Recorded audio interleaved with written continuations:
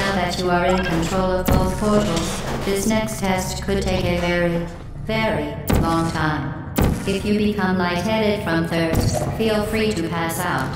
An intubation associate will be dispatched to revive you with peptic salve and adrenaline.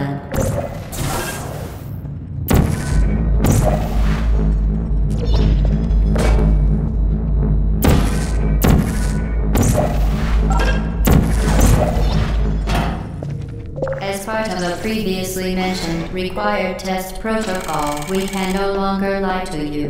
When the testing is over, you will be missed.